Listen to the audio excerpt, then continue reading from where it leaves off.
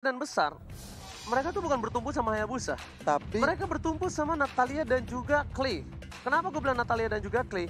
Karena di sini Natalia dan Clay akan mem- membuat game ini bermain untuk Genflix. ya, Secara nggak langsung mereka ada playmakernya. bahkan juga Clay-nya ini ada sebagai natural counter juga bisa tipis-tipis dibilang. banget cuy. Lalu Uranus Gak dan bisa, lain-lain. ini berat banget sih. Serius, tipis-tipis Tipis banget. banget Genflix ya, tapi. Ini kalau ngumpul semua, disembur sama Matt ini bakal bisa menjadi bencana untuk Genflix Sarawak. Tapi itu adalah analisa dan teori dari kita Ya, karena betul. selengkapnya bakal kita langsung saja lihat di dalam in-game. Jadi buat kalian semua jangan lupa dengan hashtag BTRWin dan juga Rising Wolf untuk Genflix Sarawak. Yuk. Dan di game yang kedua, di match pertama, langsung saja ini dia. Iya. Iya, seperti yang tadi Ranger Mas bilang, caster, analis, apa pun itu siapa pun kamu bisa melakukan prediksi. Yes. Tapi yang akan terjadi adalah di Land of Dawn. So, papan kayu, meja kayu, yuk Cakep. bisa yuk. Yuk bisa yuk. Kalau kita lihat sudah ada Clay dan sementara itu ada Watt dan juga Ripo yang masing-masing mengisi gold dan juga XP lane. Ripo tentunya dengan Hayo, denger gak? Udah hayo. Hayo lo. Udah Hayo hayo, lo. Fredo benar-benar diganggu pergerakannya. Langsung ke arah belakang sana.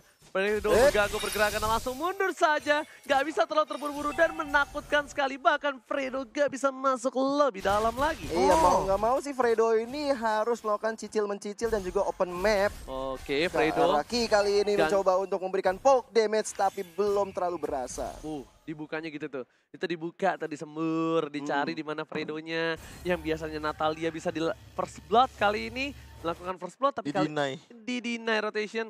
Bahkan Fredo Kitty melakukan rotasi ke arah top lane. Berbeda dua level dan harusnya tidak bisa terpick off sama sekali dari seorang Grangernya. Ya hati-hati dari seorang Granger ya karena Fredo walaupun masih level 1 ya masih belum memiliki eh, beberapa skill tapi cukup harus dihati-hatiin bang. Wih, tapi ini gila sih, Rainbow-nya udah level 3 sekarang. Dia Yes. bener-bener ngincer banget level 4 sehingga nanti kalau misalkan Bransi ditempel sama Fredo, dia hadir dengan guard-guardnya. Ya langsung bisa papi papi. Papi, papi, puh. Dan meanwhile dari para pemain tim Bigetron Alpha kali ini di arah mid lane buset, seperti bakal coba menumbangkan seorang Clay. Tapi ternyata satu kali teriakan hoyolo hoyolo membuat Clay mundur langsung ke arah Suret. Hoyolo hoyolo. Ayo lo, ayo Itu lo. Rainbow sama Hengki suaranya ya? Mereka udah Rainbow mulai sih. menyerang psikis ya dari seorang Itulah, Clay-nya tadi. itulah permainan yang di offline. Permainan yang benar-benar ditunggu oleh para semua player profesional. Dan bahkan hampir saja diambil gold buff di arah bottom lane dari seorang Brand. Meanwhile ada Rainbow di sana dan juga Ki yang saling berhadapan dengan Ah, Clay udah di sana. Hayabusanya masih belum berani untuk masuk lebih jauh. Sementara itu ada Fredo yang terus berlari tanpa henti untuk melihat map di Land of Down. Rivo di arah bottom lane. Dia seperempat darah terakhir bakal coba dipasang seorang Fredo Kitty. Dan bahkan ada hard Oh, oh. telah dikeluarkan. Brans ditempel begitu saja. Brans masih mau lebih. Ada bottom mencoba masuk. Shadow Kill belum dikeluarkan. Dan Retribution akan ke berhasil diamankan oleh seorang Brans. Dan betul sekali. Masih mau lebih dari Brans. Clay masih menyalakan Brilliant. Dan Sonata. Harta tata dan Sonata dikeker dengan kali namanya. Ah. Ah, sayang sekali aku cinta padamu ditolak begitu saja oleh seorang Clay. Iya sama seperti saya yang habis ditolak mentah-mentah dan kali ini kalau kita lihat dari seorang Branse tadi ya kalau misalnya dia bisa mendapatkan last hit dari Dead Sonata ya mungkin akan memberikan damage yang cukup lumayan ke arah Clay-nya. Bahkan respect dari seorang Brans dengan boot yang dimiliki oleh seorang Brans. Kali ini bakal lebih struggle untuk tim Gen Fix Arawak untuk menemukan Brans ditambah hard guard dari seorang Rainbow. Meanwhile juga Ripo-nya terus melakukan cutting-cutting minion di arah bottom lane dan juga Elias-nya harus berjuang ekstra lebih keras lagi untuk bisa mendapatkan XP yang lebih baik. Bukan hanya itu aja, di arah top lane juga ada Matt mencoba untuk kabur. Fredo Kitty, Ih. lihat begitu saja. Dibalikan keadaannya tapi terlalu kuat. Dan Fredo Kitty disembur Oh, balik. Mau ke mana lo ya? Gak boleh pulang. Buar. Duar kalau kita lihat dari Wattnya dan juga Battle yang saling membahu-membahu untuk melihat pergerakan dari lawan-lawannya. Fredo juga ada di sana. Tapi di arah bottom lane, seorang Bravo mencoba kabur, gak boleh pulang, maunya digoyang dari sang Oh. mantan tindakan berat didapatkan berat. Sepertinya ada tembakan dengan true damage sang mantan tim menambah damage 10% terhadap seorang Bravo. Tapi di harta sana, langsung ada Wow. Darkening dan langsung menumbangkan satu orang Matt. Matt ditukar dengan Bra- Bravo, cukup adil. Cukup adil dan kalau kita lihat kayaknya udah mendapatkan damage dari Meteor Shower yang keluar oleh seorang Wattnya di sini tapi masih bisa selamat langsung recall recall manja ditambah da- juga ada Fredo Gitti di Oh, situ. ditangkap. Guiding one. Kiu, abang ada Fredo Kitty tertangkap begitu saja. Profesor KB, kiu. Abang Langsung ada guiding ternyata. by dan ternyata di arah bottom lane. Berapa menit lagi-lagi harus tumbang. Dan lihat teriakan dari sang mantan Gila, timnya. Terlalu mereka. Iya. senang menumbangkan seorang Bravo. Apakah Bravo kali ini sedikit tergoyangkan iman dan jiwa raganya? Tapi kalau kita lihat juga emang udah 0-2-0 dari seorang Bravo ya. Harus berhati-hati supaya tidak sering-sering terpick off dari Elisnya. Meanwhile, Turtle yang kedua sudah mulai hadir di tengah-tengah lane of down. Ya, aku cukup setuju dengan Gio yang bilang udah 0-2-0. Ini bukan angka yang baik untuk hero scaling kayak Bravo. Setuju. Karena dia adalah frontliner nantinya bagi teman-teman Genfix Airwolf ketika late game terjadi. Oke, Shadow ada. Asgard, tapi ternyata Shadow Kill berhasil menemukan satu. Ada Oh. Rainbow di depan sana. Flicker digunakan, Clay masih mau lebih. Darkeningnya dan bahkan Chaos Assault kali ini membuat seorang Fredo berhasil kabur. Dan lihat di sisi lainnya, Shower. masih mau lebih. Satu poin diamankan, Red Oh. bisa dikeluarkan. Meteor Shower Chef the Day. Yoi, Meteor Shower Save the Day. Dan kita lihat Bransnya belum melakukan pokar Turtle yang kedua. Oke, Brans masih coba Eh, pertama mendapatkan ya? orange top terlebih dahulu. Kenapa belum diamankan? Belum deh. Eh, Belum Bawah ya? tadi, bawah tadi. Oh iya, Turtle. Oh iya benar, yang kedua kan ya. di bawah. Yes, yes, Alright. Dan kali ini dari Bravo juga masih coba untuk one by one situation butuh waktu yang cukup lama dan Bigetron Alpha mereka harusnya sadar mereka nggak boleh nge-drag game ini terlalu lama karena tiga player dari tim Genfix Wolf ini bakal kuat banget. Kenapa gue bilang kuat? Dua dari segi team fight, satunya bakal melakukan split push dan bisa memporak-porandakan backline dari Bigetron. Meanwhile, dari Bigetron Alpha cukup sulit untuk menahan pergerakan dari seorang Hayabusa. Iya. Wah, siapa? Kecuali seorang Matt dengan Winter Enggak, nantinya. kalau menurut aku Nanti, Ripo sih iya. harusnya. Ripo pakai Winter juga lebih uh, wise harusnya. Iya, Yes, one lihat one sudah mulai ada pokar Turtle yang kedua kali ini ada Brans. Ada di depan sana, Guiding One telah dikeluarkan dari seorang Kayaye. Menuju ke arah belakang, Hayabusa harus kabur dan Retribution lagi-lagi Uh. mengamankan posisi. Clay bakal dipaksa begitu saja. Ada Soul Bloom, ada satu buah Puppet String belum dikeluarkan. Fredo Kitty mengganggu dan Bras Oh. tidak berhasil mendapatkan satu poin. Bras terlalu offside kali ini. Gila. Dikating oleh seorang Ripo. Fredo Kitty down. Berapa Oh. nggak berhasil mengcover. Ripo masih mencoba untuk dijemput oleh para pemain dari tim Bigetron Alpha. Kill! Ah, tidak bisa ke mana-mana dan kali ini kita lihat Clay-nya mencoba untuk memberikan damage dengan bola-bola ajaibnya ke arah Rainbow di belakang sana tapi Dipaksa ini. masih bisa Meteor Shower untuk melakukan clearing minion dari seorang Watt. Clearing minion yang bagus di arah mid lane dari seorang super awas Supriyadi tapi Bigetron Alpha mendominasi dengan 19.000 gold yang dimiliki. Berapa juga masih mencoba untuk sabar.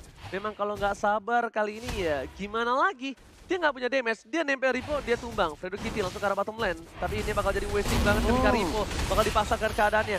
Masih ada satu buah flicker dari Ripo dan sudah gua bilang terlalu wasting dan bakal ngebuka posisi dari Fredo yang ngebuat Bigetron Alpha bisa memaksa tim fight di arah mid lane. Tapi ini aku pikir adalah suatu strategi di mana teman-teman dari tim Gameflix Aerobot mencoba untuk masuk lebih dalam ke arah Ripo yang udah mulai perlahan tapi Nah, pasti mundur ke belakang. Ripo kali ini 4 versus 1. Hmm, Ripo ada harga di sana. Masih ada flicker. Dan bahkan rotasinya terlalu rugi. Meanwhile di top lane berhasil didapatkan turret yang kedua dari tim Gelfix Arrowwolf. Ini rugi banget kalau Iya. menurut gua. Empat player karena bottom lane, gak mendapatkan apa pun. Gankingnya gak berhasil, membuat Bigetron bahkan lebih perkasa di arah top lane. Iya, udah dapat satu tower di atas dan sekarang menuju ke mid lane kali ini ada battle di sana dengan Quad Shadow-nya masih belum bisa memberikan Dipotong apa-apa. loh rotasi jungle-nya. Dipotong, Gile. diambil, disembur.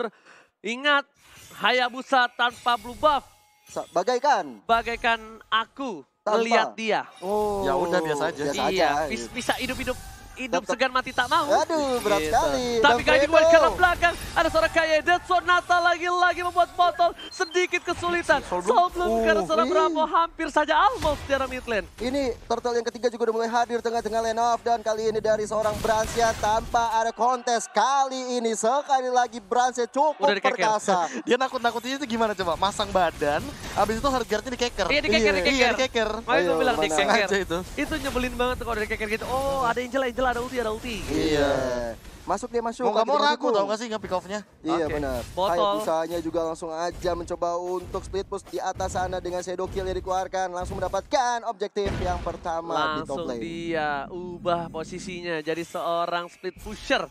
Karena kita tahu ya, Eh, eh, dari eh. seorang battle agak cukup kurang kuat untuk tim fight di menit yang ke-8. Karena pastinya belum punya item. Tapi kalau misalnya para pemain Bigetron Alpha kali ini banyak yang punya Winter, ini berat juga untuk botol sih, Profesor. Hmm. Kalau misalkan kayak gitu malah waste jadinya. Yes, Shadow kill-nya. Shadow kill bakal West dan kemungkinan besar yang punya uh, Winter ada empat orang. Clay. Bahkan langsung ke arah belakang dari KYY-nya. Clay yang dituju berubah menjadi Orbilias ke Sonata. Harta Tata de Sonata. Clay hampir saja terpick down. Ada battle di sana. Battle Uh, tersangkut dengan Puppet Sing. Tapi damage terlalu sakit dari tim Bigatron apa. Ripo menggantungkan diri di tengah sana. Melihat para pemain dari tim Gameplays dan berhasil mendapatkan satu turret dari mid lane. Kayaknya coba Bendok mengejar seorang Fredo di sana tapi masih belum berhasil menemukan Fredo. Redo dan Fredo masih bisa Dui pukul mundur. Sementara itu Hmm. Brans yang Gak mencoba untuk nyolong-nyolong aja. Gak mau objektifnya berubah. Coming. buff yang Ada guiding one ke arah belakang. Menabrak dan bahkan satu buah Puppet Sing berhasil menumbangkan double kill dengan semburan air badu pun. Tapi Oh. botol masih mau lebih. Ada Fredo di zero sana. kill. Zero kill. Dan bahkan shutdown diamankan oleh seorang Bani kali ini. Mega kill dapatkan. Flicker dari seorang Watt. Watt pun gak berani menahan damage dari seorang Brand. Walaupun BTR udah tumbang tiga orang, tapi di sini Bransnya masih cukup perkasa. Ditambah lagi ada sosok Ripo yang selalu menjaga layaknya juru selamat. Dan kayaknya kali ini Brand gak boleh seorang diri sih. Ini bisa saja di pick off oleh seorang botol. Dan botol tadi mendengar satu buah Rhapsody dan dia nggak jadi recall, Profesor. Hmm, dia coba untuk balik lagi ke bagian top lane karena dia tahu Dengan kalau soalnya tadi iya tadi kalau misalkan dia mikir mungkin eh, kalau misalkan nebak-nebak kali ya. Hmm. kalau misalkan dia tidak mendengarkan Rhapsody dia berpikir bahwa Brandsnya bakal ada di atas. Karena apa? Karena minionnya lagi jalan. Iya. dan kalau misalkan tim fight replay tadi Bravo yang bener-bener on point banget di depan. Tapi yang membuat deal damage ke arah teman-teman dari Biron Alpha adalah Watt dan juga dari botolnya. Bener-bener langsung ngincar ke belakang dengan Meteor Shower serta dengan Shadow Kill. Ini bahkan menumbangkan matnya yang mana membuat matnya makin rugi dari segi farmingannya. Yes. tapi tidak menutup kemungkinan Biron Alpha untuk tim fight selanjutnya mereka bakal ke arah Eh, Oke, tapi ngomong-ngomong lihat dan Rainbow. Sunata lagi berhasil mengamankan satu poin Oh. tambahan. Meanwhile, Rainbow terpikok satu untuk satu. Ada guiding one ke sana. Fredo ketika boleh pulang mau jadi goyang. Fredo Oh, di flicker oleh Ripo. Nice. Ripo nggak mau ketinggalan begitu saja. Memantapkan Botol. diri untuk mendapatkan satu poin tambahan dari Bigetron Alpha. Satu ditukar dua, pertukaran yang tidak cukup adil. Bahkan botolnya juga udah sekaratul maut dan kali ini Lord yang pertama sudah mulai hadir dan off dan dan sudah mulai dipopok kayak sama Brans di sana juga ada mat tanpa adanya kontes karena kita lihat Uranusnya Ripo selalu menghadang lawan-lawan yang berada di belakang. Oke, endless Lord battle diamankan, endless battle didapatkan. Ini siapa pun yang depan bakal pecah palanya ditembak Yes. saja oleh seorang Brand. Dan dari segi item, Profesor silakan. Beda 7000 dan bahkan kalau misalkan ngeliat dari segi item, Bane-nya bahkan OTW Winter. Dan aku nggak tahu kenapa Ripo berani banget di depan walaupun menghadapi battle, tapi dia tidak selalu membuat ke item-item yang kayak Winter. Jadi Winternya dibiarin biar mat. Karena dia tahu mungkin, Ripo tahu, Ripo terlalu tebal di sini dan lihat pakai hard guard. Hard guardnya. Angelanya Gila, udah itu punya NOD, udah punya fleeting time. Jadi bisa di spam dan Fredo. Dan lihat Fredo ambil. begitu saja.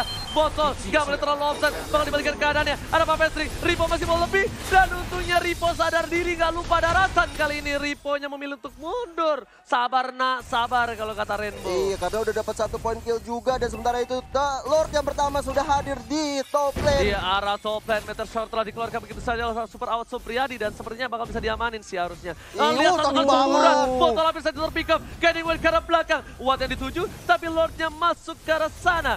Meanwhile, dari mid lane bakal coba diambil inhibitor turretnya oleh tim Bigetron Alpha. Iya udah dapat arah mid lane-nya sementara itu mereka nggak mau keluar gebah. Ada berapa yang akhirnya bisa terpick off sekali lagi killing spree. Bravo langsung hilang begitu saja Shadow Kill ternyata berbagi ke empat. Gak berhasil mendapatkan poin tambahan. Awas dengan satu buah Meteor Shower yang gak berhasil menumbangkan dan bahkan Clay sangat tumpal. Kayaknya masih mau lebih. Satu buah botol maju ke depan sana. Botol akan ke diremakan botolnya. Tapi ternyata memilih untuk mundur. Kayaknya sekarang tumpal. Kadiwan ke arah belakang. Langsung berani. Rico Rico kan. Ini bencana. Bigetron Alpha melakukan Rico-Rico di depan. Tas, Sarang dari sang serigala. Dan bahkan menuju ke game yang kedua kali ini diamankan tim Bigetron Alpha. What a play disapu bersih 2-0 tanpa balas oleh Bigetron Alpha yang sangat perkasa. Mereka